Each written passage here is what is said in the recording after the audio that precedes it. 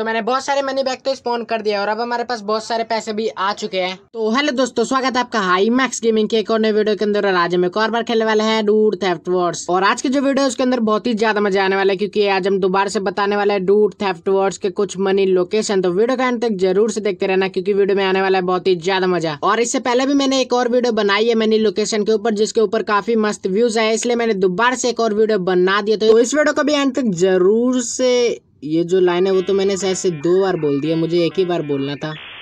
अब यार गलती से मैंने बोल दिया।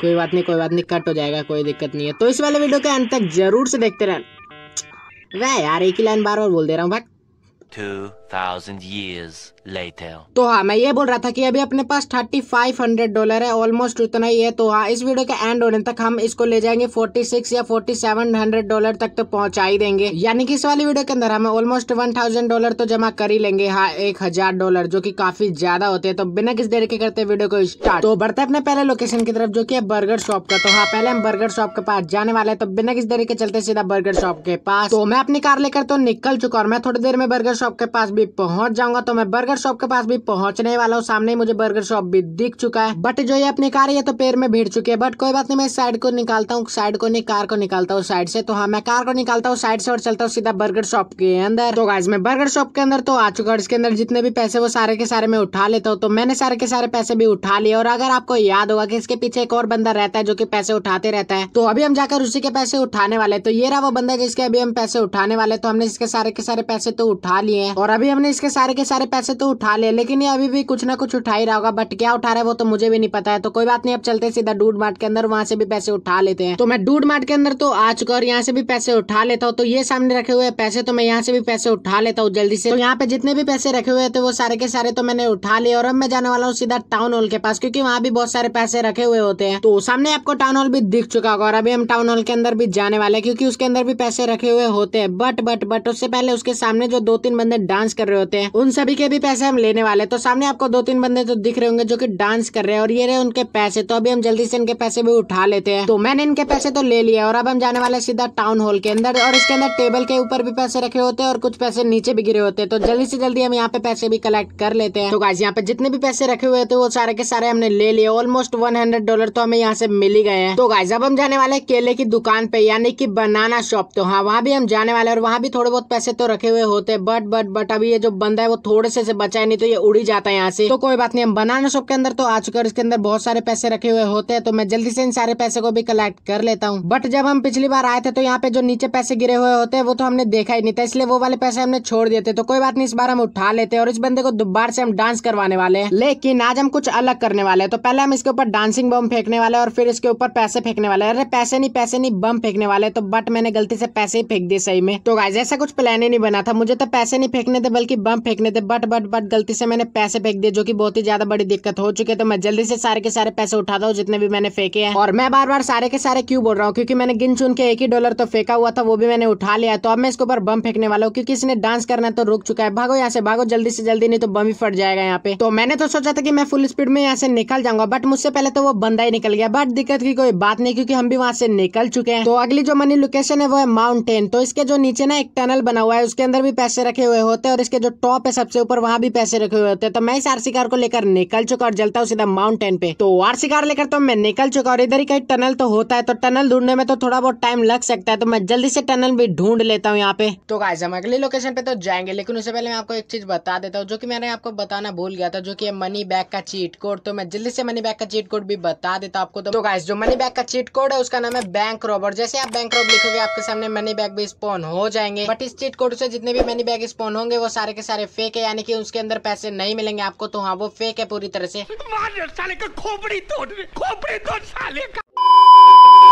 तो अब बढ़ते अपने अगले मनी लोकेशन की तरफ़ जो कि होने वाला है tunnel let's go guys finally दो तीन चक्कर मारने के बाद हमें टनल मिल ही चुका है, जो कि आपको भी सामने दिख रहा होगा। तो मैं जल्दी से यहाँ से पैसे भी कलेक्ट कर लेता हूँ, जो बाहर तो बहुत ही ज़्यादा कम पैसे हैं, लेकिन टनल के अंदर बहुत ही ज़्यादा पैसे रखे हुए हैं। तो मैं जल्दी से चलता हूँ टनल के अंदर इस आरसी कार को लेकर। तो गाइस आरसी कार लेकर तो हम टनल के अंदर भी आ चुके और सामने आपको बहुत सारे पैसे भी दिख रहे होंगे। तो हम जल्दी से जल्दी इन सभी पैसों को भी उठा लेते हैं। तो हाँ ये रहे पैसे, और भी पैसे यहाँ पे। तो गाइस यहाँ पे जितने भी पैसे रखे हुए हैं तो वो तो हमने उठा लिया और अब हम जाने वाले सीधा माउंटेन की टॉप पे। तो मैं जल्दी से आरसी कार लेकर चलता हूँ, सीधा माउंटेन के टॉप पे। तो माउंटेन के टॉप पे तो मैं पहुँच चुका हूँ, पर यहाँ पे आते आते जो पैरों की वाट लगी ना, मैं बता नहीं सकता। पूरे पैर एकदम तगड़े तरीके से दर्द हो चुके हैं। तो हाँ मैं माउंटेन के टॉप पे तो आ चुका हूँ। तो मैं ऐसे सारे के सारे पैसे भी कलेक्ट कर लेता हूँ और फिर हम जाने वाले सीधा कंस्ट्रक्शन बिल्डिंग पे, जहाँ पे चैड रहता है, इस गेम का थर्ड कैरेक्टर तो मैंने ऐसे सारे के सारे पैसे भी कलेक्ट कर लिए और मैं आपको दिखा देता हूँ कि वो जो बिल्डिंग है वो कहाँ पे है। तो सामने आपको जो बिल्डिंग है वो भी दिख चुकी होगी। तो गाइज़ मैंने मून ग्रेविटी चीट कोड को भी एक्टिवेट कर दिया, जिससे कि हम ऊँची ऊँची जंप लगा सकते हैं। तो हाँ मैं जाने वाला हूँ सीधा कंस्ट्रक्शन बिल्डिंग पे, जो कि आपको सामने दिख रहा होगा। तो वो रहा कंस्ट्रक्शन बिल्डिंग ध्यान से देखिए उसको। वही है वो कंस्ट्रक्शन बिल्डिंग जहाँ पे होते हैं बहुत सारे पैसे और वहाँ पे थर्ड कैरेक्टर भी होता है जिसका नाम चैड है। तो हम उछलते कूदते आ चुके हैं सीधा कंस्ट्रक्शन बिल्डिंग के पास और अब हम जाने वाले सीधा इसके ऊपर क्योंकि इसके ऊपर बहुत सारे पैसे रखे हुए होते हैं जो की मैं आपको दिखाता हूँ। तो ये रहे बहुत सारे पैसे और ये रहे गेम का थर्ड कैरेक्टर जिसका नाम है चैड तो हाँ मैं जल्दी से जल्दी सारे के सारे पैसे उठा लेता हूँ। गाइस यहाँ पे जितने भी पैसे रखे हुए थे वो सारे के सारे मैंने उठा लिए और अब मैं आपको बताता हूँ कुछ नए लोकेशन जो की मुझे भी पहले नहीं पता थे लेकिन अब मुझे पता चल गए हैं तो ये जो आपको सामने टावर दिख रहा होगा, टावर नहीं, ये शायद से क्रेन बोलते हैं इसको। तो हाँ इस क्रेन के ऊपर भी बहुत सारे पैसे रखे हुए होते हैं। तो अभी हम इसी के ऊपर जाने वाले हैं। तो देखते हैं इसके ऊपर हम जा पाते या नहीं, क्योंकि मैंने बहुत बार ट्राई कर लिया, बट हम इसके ऊपर जा ही नहीं पा रहे। तो कोई बात नहीं, मैं जल्दी से इसके ऊपर चलता हूँ और उसके बाद आपसे मिलता हूँ। तो फाइनली गाइस मैं इसके ऊपर भी आ चुका और मुझे बहुत सारे पैसे तो सामने रखे हुए दिख रहे हैं रखे हुए हाँ रखे हुए दिख रहे हैं। तो हाँ मैं कुछ भी बोल रहा हूँ यार इग्नोर करो इस बात को। तो हाँ मैं ये बोल रहा हूँ कि इधर से तो हम पैसे उठा लेंगे कैसे भी करके लेकिन उधर भी बहुत सारे पैसे रखे हुए हैं वो कैसे उठाएँगे हम? तो मैं इधर से जाने की ट्राई करता हूँ। अगर इधर से हम चले गए तो ठीक है नहीं तो हम नीचे गिर जाएँगे। तो देखते हैं हम उधर जा पाते हैं या नहीं। तो मैं तो इधर आ चुका और इसलिए वीडियो को लाइक कर दो। तो मैं जल्दी से इन सभी पैसों को भी उठा लेता हूँ। तो मैंने इन सभी पैसों को भी उठा लिया है और अब मैं यहाँ से निकलता हूँ और मुझे लग रहा है कि इसके ऊपर भी पैसे होने वाले हैं, तो मैं जल्दी से इसके ऊपर भी चलता हूँ और देखते हैं यहाँ पे पैसे है या नहीं। तो मैं तो इसके ऊपर आ चुका हूँ। और यहाँ पर तो पैसों का कोई नामो निशान नहीं है। तो मुझे तो लगा था ऊपर पैसे हो सकते हैं बट यहाँ पे तो पैसे है नहीं। कोई बात नहीं, हम इसके टॉप पे जाने वाले तो मैं इस रस्सी के ऊपर से चलता हूँ, इसके टॉप पे। तो मैं आराम आराम से चलता हूँ, सीधा इसके टॉप पे। तो मैं तो आराम आराम से जा रहा हूँ और मुझे और भी आराम आराम से चलना पड़ेगा, क्योंकि अगर मैं इसके ऊपर से गिरा तो हड्डिया तो दूर की बात है हम खुद नहीं मिलने वाले। तो हमें इसके ऊपर से आ चुका और इसके ऊपर से कुछ ऐसा व्यू मिल रहा है। तो क्या आपने कभी सोचा है कि अगर हम इस क्रेन के ऊपर घर बनाएँगे, यानी कि अगर इसके ऊपर हम घर बनाएँगे तो वो कैसा लगेगा? तो सोचिए मत इस वीडियो के नीचे कमेंट कर दीजिए, मैं ज़रूर से घर बना दूँगा। तो बढ़ते अपने अगले लोकेशन की तरफ़। तो मैं आपको बताता हूँ अगला मनी लोकेशन जो कि यहीं पर है बट अभी तक आपने शायद से उसको नहीं देखा होगा। और अगर देखा होगा तो कमेंट करके बता देना इसी वीडियो के नीचे। तो मैं आपको वो दिखा देता हूँ। तो ये रहा वो मनी लोकेशन और पहले तो मुझे नहीं पता था कि यहाँ भी पैसे रखे हुए होते हैं बट जब हम इसके ऊपर से जंप कर रहे थे स्क्रीन के ऊपर जाने के लिए तो मुझे ये पैसे दिख रहे थे। तो मैं यहाँ पर तो आ चुका और यहाँ पे जितने भी पैसे रखे हुए वो सारे के सारे मैं उठा लेता हूँ। तो मैंने सारे के सारे पैसे भी उठा लिए और एक और बात, अगर आपको जानना है कि हम डूट